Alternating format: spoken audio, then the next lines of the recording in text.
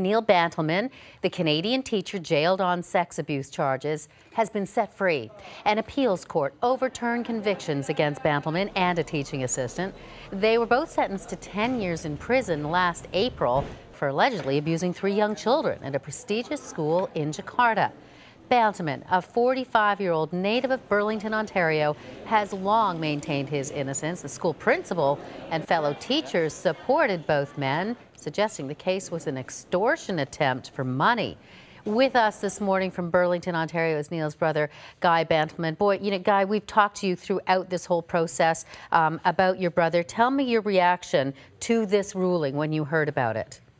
Yeah, you know, it's uh, surreal when it first uh, first kind of surfaced. We've uh, we've known about this for probably about uh, 36 hours now, and have tried to get confirmation and, and tried to line things up appropriately. Obviously, we didn't want anything to uh, spook it at the at the last moment, but uh, you know, we saw him walk out of prison about two hours ago, so. Uh, surreal to see that, but um, and obviously thankful this phase is over, and now it's um, trying to figure out, you know, will there be an appeal by the prosecutor, and you know, if not, how do we get Neil home as soon as possible?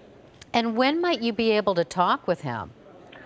Um, I'll probably talk to him sometime over the next day or so. Uh, you know, I'm, I'm sure. Well, I know from the pictures he was inundated with media, and uh, the decision was that he and Tracy would kind of go their separate way and and get sequestered off somewhere quiet um, for a few days, and uh, then we'd connect. And uh, um, you know, he sent me a couple pictures, and um, good to see. And uh, I know, I know he knows. So we'll, we'll get to that part when we have to get to that part.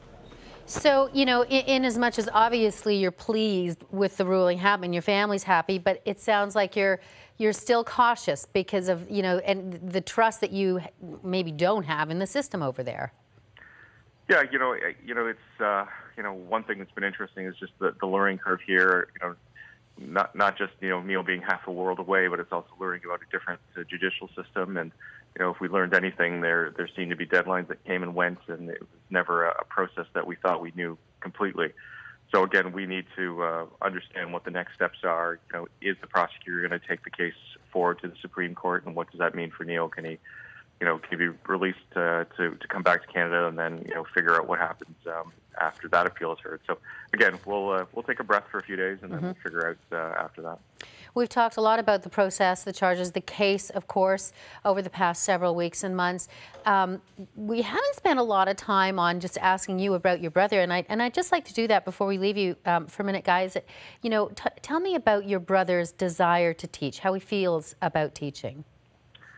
Yeah, you know, Neil's, um, you know, always been great with kids. You know, I know that, um, you know, as I had my children and just watching him, he's got this um, wide-eyed enthusiasm, uh, and you know, a, a personality that just doesn't get rattled, uh, as most people do when you know kids don't act the way you think they would do, or they don't learn, you know, a skill the way you think they would do. You know, he's very calm and he's got a great demeanor for that. So, you know, teaching what you know was and is his passion, and uh, you know that combined with being able to see other parts of the world and help uh, and help some communities that maybe were a little less less privileged. Um, you know, that that really buoyed you know his life and his spirit, and he met somebody in Tracy that uh, shared the same values and.